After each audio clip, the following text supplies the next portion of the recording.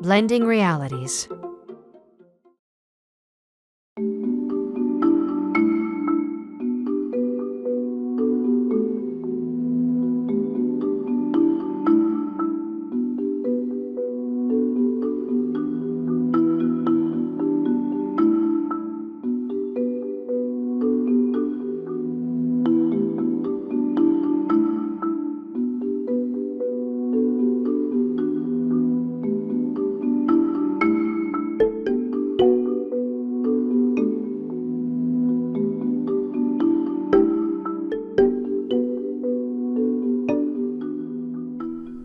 Holly, I would like to begin with what we have here on set today, um, and let's let's start with that one.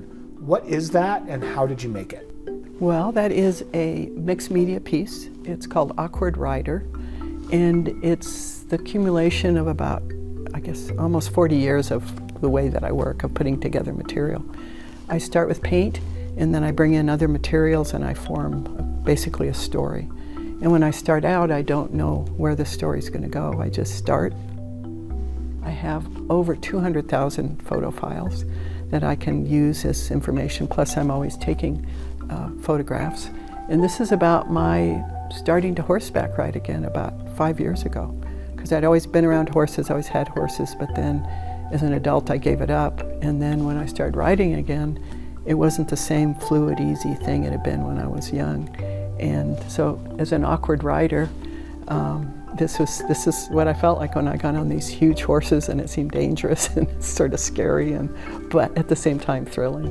Titling a piece of art, how important is that to you, and do you think it matters to the people who see your art? Oh, absolutely, it matters. I don't come up with the title usually until I'm about two thirds are done with the piece, and then it will come to me.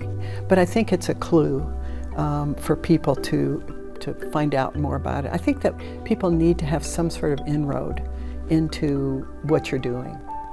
The title could almost be thought of like a door then. So Absolutely. what is the door for this piece? Well, this is called Supplicant. Um, this was done around 2017. These are fairly fairly recent. And in this case, it was just, I had this beautiful blue background, and then the, the body of the, of the chair and the legs of the horse are, are all made from things that I painted. But supplicant is about petitioning something for something important.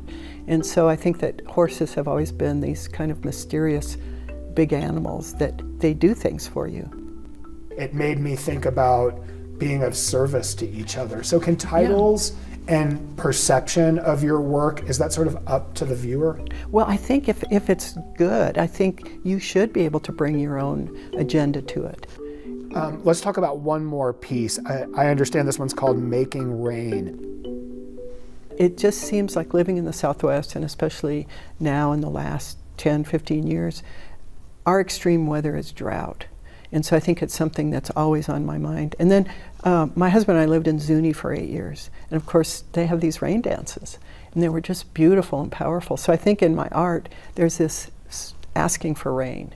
And that's what this is called Making Rain, this piece and it's really about petitioning the gods to give us some rain. And uh, like the Zunis had their dances, I have my paintings. And they come up every year or so, I'll do a, a rain painting. Does it make it rain? no.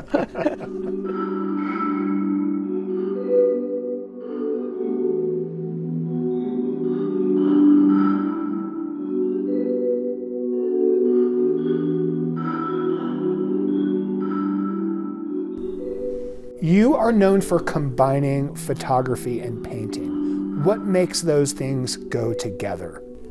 I think what happened was was I was one of the first people to kind of do that, to, to take photography, which was just becoming accepted as a fine art media, and then take paint, which the photographers were just terrified of paint. It was like, ah, but I wasn't. I was too dumb. I first started painting over photographs, and then changed to putting photographs on top of the paintings. But there's something about the reality and the non-reality that's very powerful. You have the reality of the photo with the non-reality of the marks of the paint or, or the things that I make up and put in.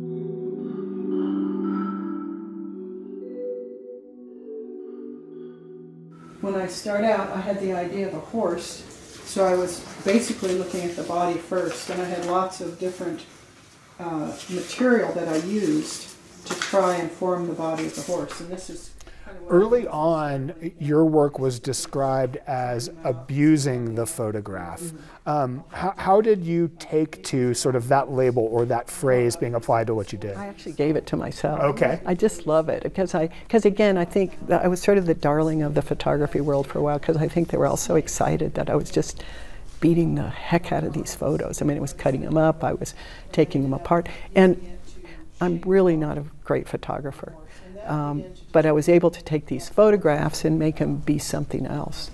By cutting them up, by transfiguring them and transposing them, they become something that was more powerful. I, am interested in how you begin. Is it a theme? Is it the mediums? Is it looking around your collection of paints and photographs? How do you start with? Well, I think I'm a looker. I, I start with a painting. I take paint and I just throw it around. I paint outside because it's so messy. Um, and it's like the, there's a fairy tale of a little of a little girl and she puts on these ballet shoes and they're magical and she dances and dances but then she can't stop dancing and she has to cut her feet off. And i sort of feel like that when i paint. I just can't stop. I just i go and go i won't go to the bathroom i won't get anything to eat i get paint everywhere. So that's what starts. I make these i make maybe 20 30 background paintings and then i'll come in and i have all these photographs that i have too many almost. I mean, they're so deep. But I'll, I'll begin to take them and lay them out and cut them up and put them down and see what happens. And then I'll begin to follow a storyline that it will begin to make sense. And I'll maybe work on maybe five at a time and I'll put them up on the wall. They may take a couple of months to finish, but I'll be constantly adding or taking away. And then at some point they're done. How do you know when you're finished? Your stomach stops hurting. how have your concerns or fears or anxieties about the world influenced what you make? I think I'm a naturally anxious person. Um, and so I think that's what comes through. I'm, I'm, not someone who, who does happy, joyful work. I do work that, that connects with that deeper, darker side. Um, although I think it's often funny stuff too. I mean, I think there's humor to it. But th that's, that's how I approach the world. That's how I see it. I'm a glass half empty kind of person. And so that's what I connect with. Has that changed over time? In other words, has the world gotten crazier and you've gotten calmer? I've gotten calmer. I've gotten saner. I've gotten psychologically healthier. But the world has gotten crazier and crazier to the point that you just don't even want to watch the news because it's so bad.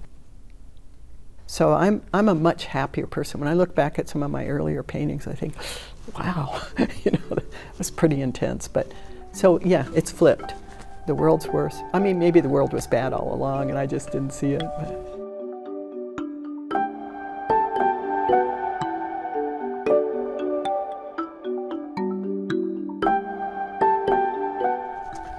So, in 30 plus years of doing this, what have you discovered? God, I, I think it's an ongoing discovery. I don't think it's an end. I don't think you go through the door and there you have it. I think you're always opening doors, opening doors, opening doors. And every time I do a piece, I think I can never do another good piece again. You know, I'm done. That's it. So I think it's it's as simple as that. There's no big big aha moment. I want to know more about that. You think you're done at the end of every piece. How do you start anew? Your hands. I think your hands get going. They do whatever, write or make, you know, and I think that's why painting's so important for me because it makes my, once my hands take over, then my head can go out and, you know, like smoke a cigarette or whatever. But my, my hands are in charge. That's my creative self.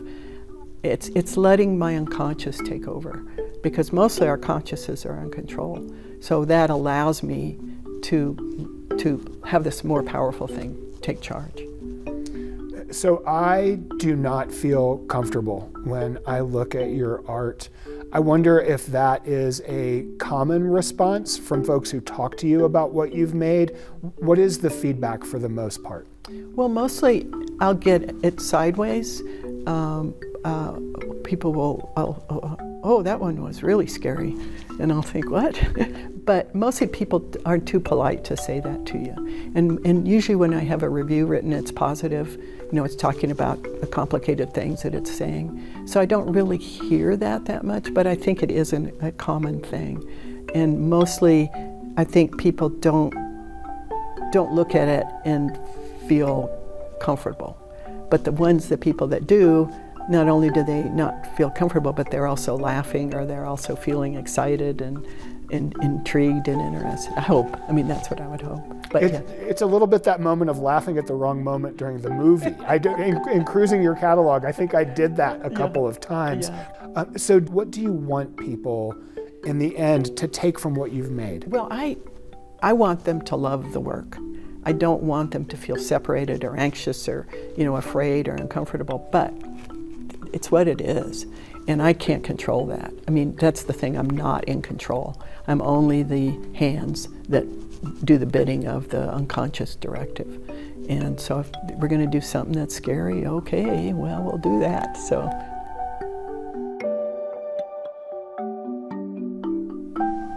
One time, a gallery director told me that snakes and red never sold. So for about six months, I just did snakes and red, you know.